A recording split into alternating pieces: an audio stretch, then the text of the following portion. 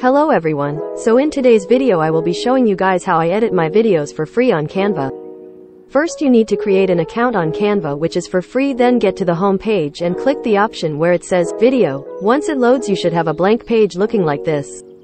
What I usually do is copy and paste the texts from my other videos to make it easier but if you are new to using the website here is how you do it. First go to text and click, add a heading, then you can adjust the size and where you want to put your text.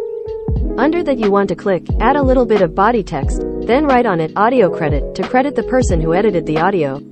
On top or the bottom you can also put your account name. Now what we want to do is go to the video of the edit audio we want to use and copy the link. Then search on Google a website called Y2Mate. Here is a little warning some people have gotten viruses due to this website so please use it at your own risk.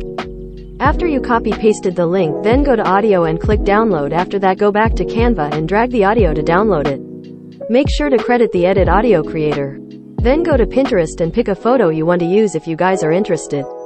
I can put a link to my Pinterest account in the description if you want to follow it. Now copy and paste your photo then go to uploads and pick the photo you just pasted. Now on the upper left corner click on the photo and say edit photo then go to blur and blur your photo. Now double click it and click layers, move to back. Now go to uploads and click audios and pick the audio you uploaded. Now click on your clip and drag it to the length of your audio after that click play and it should work. You want to do this for each of the edit audios you are going to put in your video.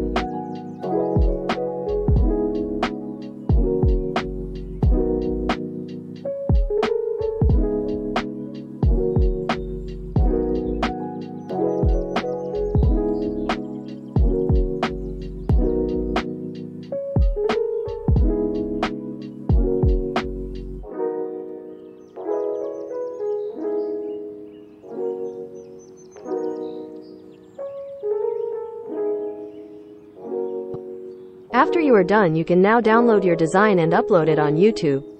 Anyways I hope this video was helpful for you guys and easy to understand.